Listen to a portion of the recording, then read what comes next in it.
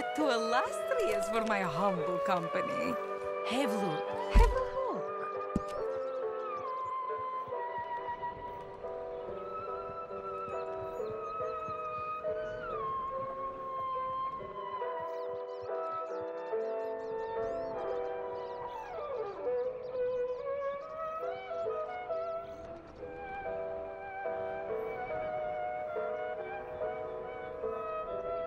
I have been out here for as long as the.